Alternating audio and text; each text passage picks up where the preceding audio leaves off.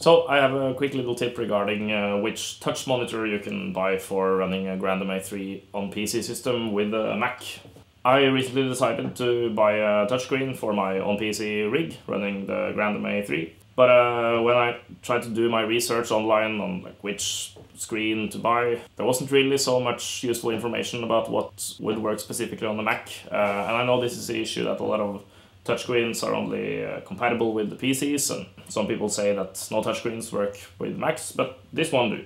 This one is called uh, ViewSonic TD2230. It's a 22-inch touch monitor, and this is not meant as an advertisement or anything, but uh, I was just a little bit frustrated not finding out what screen to buy, so I thought I'd just share it. Yeah, it works really as it should, I would say.